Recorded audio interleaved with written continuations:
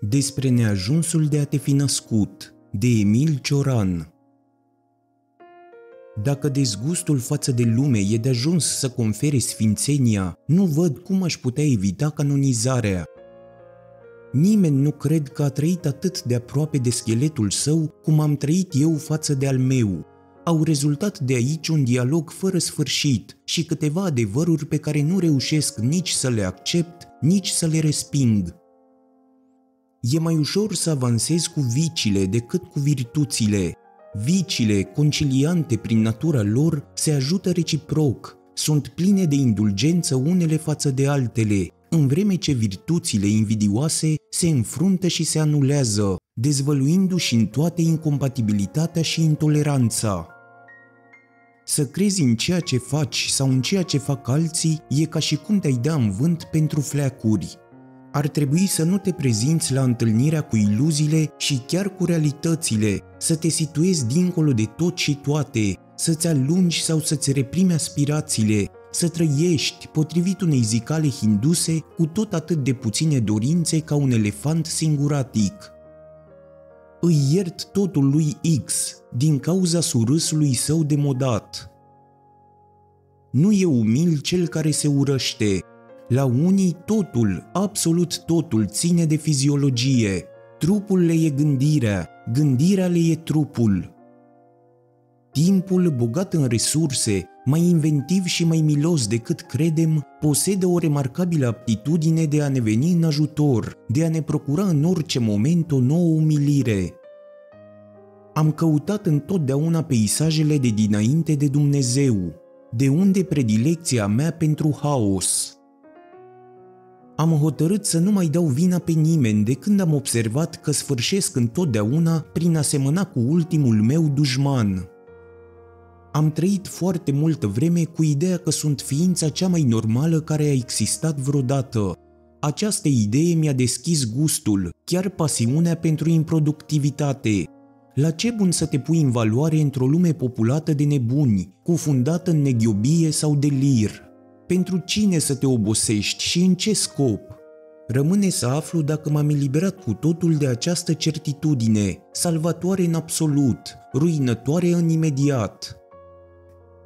Violenții sunt în general oameni plăpânzi, terminați, care trăiesc într-o efervescență continuă, în detrimentul propriului trup, exact ca asceții, care familiarizându-se cu chietudinea, pacea, ajung să se erodeze și să se epuizeze tot atât cât furioșii.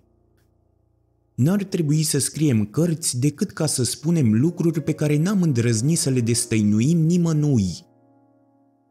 Când Mara, ispititorul, încearcă să-i uzurpe locul lui Buddha, acesta îi spune între altele Cu ce drept pretinzi să domnești asupra oamenilor și asupra universului? Ai suferit pentru cunoaștere, E întrebarea capitală, poate singura care ar trebui să ne frământe când ne punem întrebări despre cineva, mai ales despre un gânditor. Nu putem, pe cât am vrea, să facem suficientă distinție între cei care au plătit pentru cel mai mic pas către cunoaștere și cei incomparabil mai numeroși cărora le-a fost dăruită o cunoaștere comodă, indiferentă, o cunoaștere fără încercări.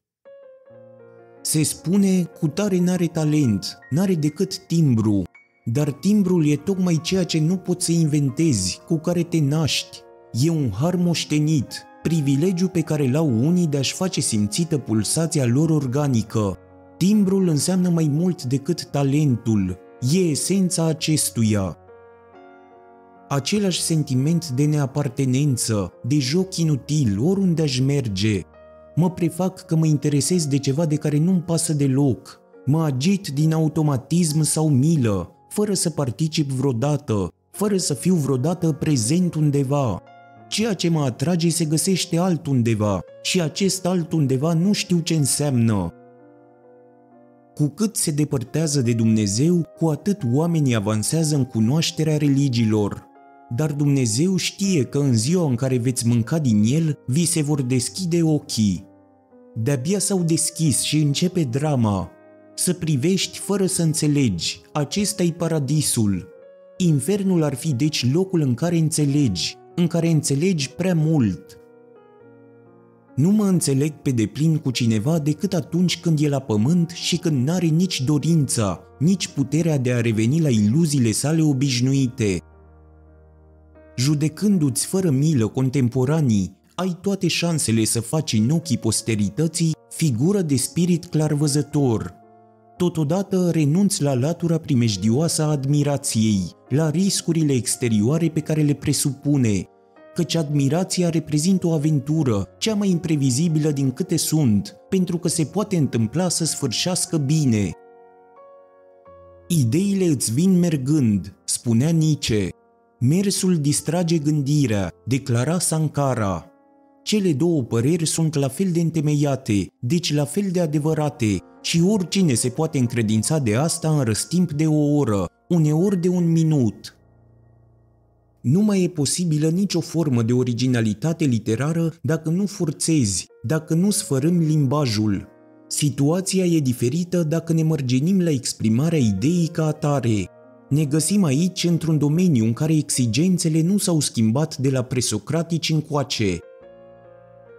De ce nu putem să ne întoarcem în timp înainte de concept, să scriem chiar din simțuri, să notăm variațiile infime a ceea ce atingem, să facem ce ar face o reptilă dacă s-ar pune pe lucru.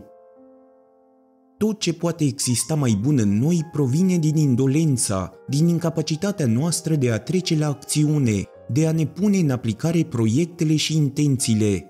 Neputința sau refuzul de a ne realiza ne păstrează calitățile, iar voința de a da tot ce putem ne conduce la excese și la desfrâu acel glorios delir de care vorbește Tereza de Avila pentru a desemna una din frazele unirii cu Dumnezeu, reprezintă ceea ce un spirit secătuit, invidios prin forța lucrurilor, nu-i va ierta niciodată unui mistic.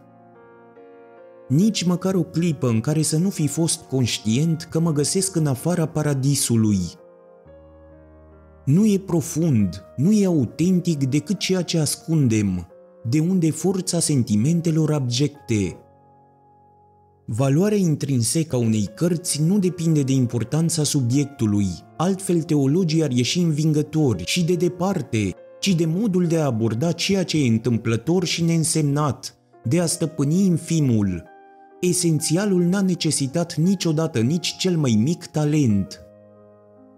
Sentimentul de a fi în întârziere sau în avans cu 10.000 de ani față de ceilalți, de a aparține începuturilor sau sfârșitului omenirii.